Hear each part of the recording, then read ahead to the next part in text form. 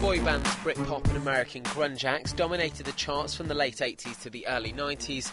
The music scene offered little stimulation for adolescent girls around the world, until that is, a British five piece captured the imaginations of youngsters the world over. Back in 1993, a management company wished to break away from the norm, placed an advert in the Stage magazine that asked Are you 18 to 23 with the ability to sing, dance? Are you streetwise, ambitious, outgoing, and dedicated? From the hundreds of young wannabes who applied, five were eventually handpicked and thrown together and given a modest house in Maidenhead in which to live. Victoria Adams, Melanie Brown, Melanie Chisholm, Geri Halliwell, and Michelle Stephenson collectively became known as Touch and they set about crafting their trade. Emma Bunton was later drafted in after Michelle Stephenson left the band, while the group changed management and renamed themselves the Spice Girls. When they first burst into the public consciousness in 1996, few would have believed their first single, Wannabe, would have gone straight to number one, let alone launch the musical careers of five ladies who would go on to dominate pop music for so long. Given the affectionate monikers of Posh, Sporty, Ginger, Scary, and Baby, the five dominated headlines. And in a prime example of the shift from the old to the new guard, the girls even kept two former Take That members from the number one spot. What came next was the stuff of dreams.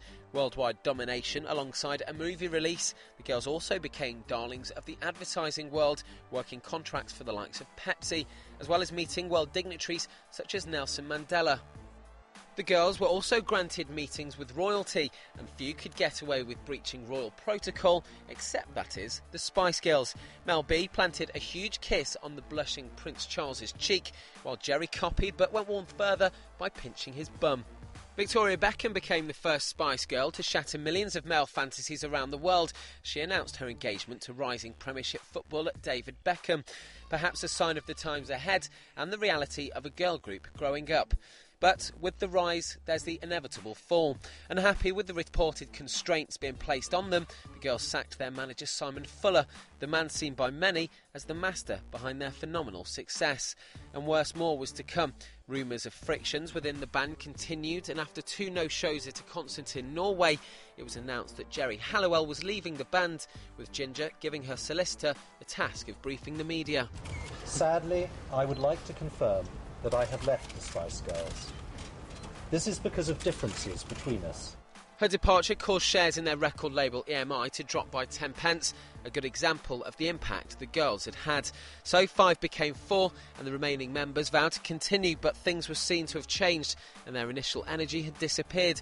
Just months later, Posh and Scary both announced their pregnancies, and little over two years later, the girls had parted company after shifting nearly 55 million records, notching up 10 number one singles, as well as influencing British and world culture with their empowerment of women and the use of the phrase girl power, a phrase that would make it into the Oxford English Dictionary.